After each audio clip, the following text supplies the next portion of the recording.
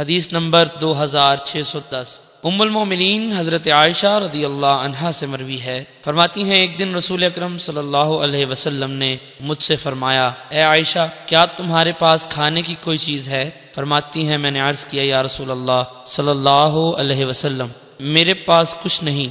आपने फरमाया अच्छा तो मैं रोज़े से हूँ। आप फरमाती हैं रसूल अक्रम सल्लल्लाहु वसल्लम तशरीफ़ ले गए तो हमारे पास कुछ हदिया आया या कुछ मेहमान भी आ गए। फरमाती हैं, जब रसूल अक्रम सल्लल्लाहु वसल्लम वापस तशरीफ़ लाए तो मैंने अर्ज़ किया, हमारे पास हदिया आया है। हमारे पास मेहमान आए और हदिया भी लाए। मैंने उसमें से कुछ आपके लिए महफूज कर रखा है। आपने फरमाया, वो क्या है? मैंने अर्ज़ किया, हीस खजूर, घी और सत्तू से तैयार किया हुआ खाना है। नबी अकरम सल्लल्लाहु अलैहि वसल्लम ने फरमाया, ले आओ, बस मैं लेकर हाजिर हुई तो आपने तनावल फरमाया। फरमाया, मैंने सुबह रोज़े की नीयत की थी। हज़रत तलहा फरमाते हैं, मैंने ये हदीस हज़रत मुजाहिद से बयान की तो उन्होंने फरमाया, ये उस शख्स की तरह है जो अपने माल से सदका निकाले, अब इसकी मर्ज़ी दे या ना दे।